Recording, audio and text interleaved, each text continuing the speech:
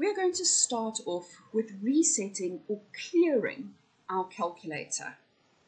To start with, what we always need to have a look at is we need to ensure that on our calculator, the only signs and symbols we have got at the start of the use of our calculator is a D for degrees and the word math. If we have any other signs or symbols, such as an R, a G, a very common one, M, the word fix or the word sci, we need to reset our calculator. In general, I advise all learners to reset their calculator before they write a test or an exam, or if you are borrowing a calculator from somebody, please ensure that you clear or reset your calculator and put it in the right setup so that you are ready to use your calculator and no errors can be made. Let's have a look at how we are going to reset. Shift and number nine. A clear menu comes up and it asks you, what is it that you are wanting to clear? Is it number one, your setup, number two, your memory, or option three, all your information? Because we are wanting to start from scratch and fresh, we are going to clear all our information. Option number three. The calculator asks us, are you sure you want to reset all? Yes, I'm sure. I'm going to press equals, or if you decide that you don't or no longer want to reset all, you can press AC. But for today's session, we are going to clear all our information, so yes, equals.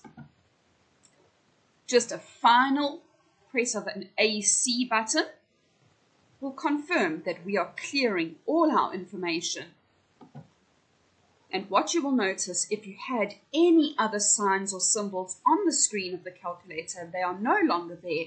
And the only thing you are left with is your D and your math.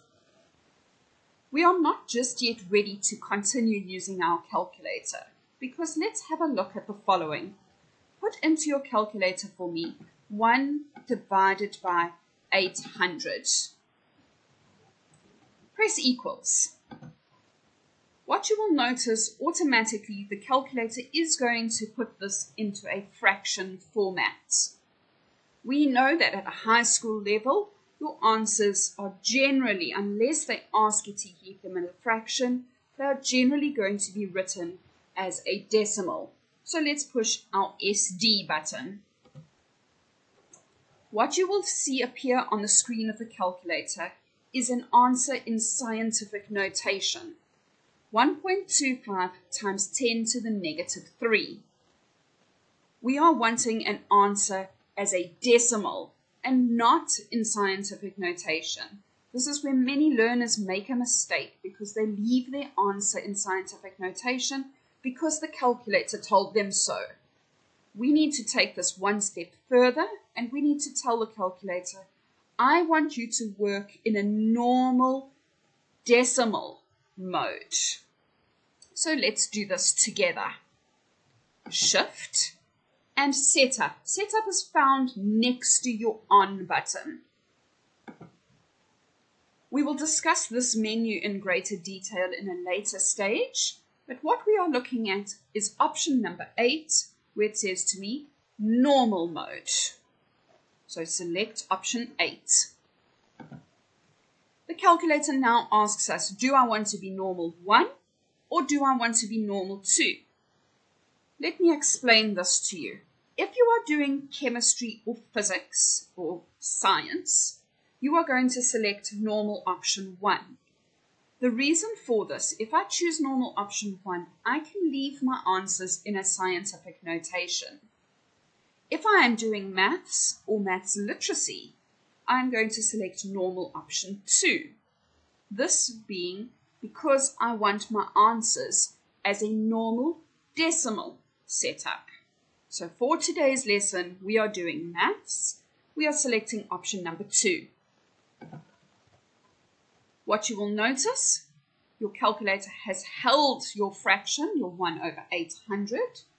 We want this as a decimal, so we press SD. And there you will notice, or there you will see, that from now on, all my answers are automatically going to go from a fraction into a decimal. We are now ready to use our calculator. I want you to start getting into the habit when you are using your calculator to use your AC button when you are clearing the screen of the calculator and avoid using your on button.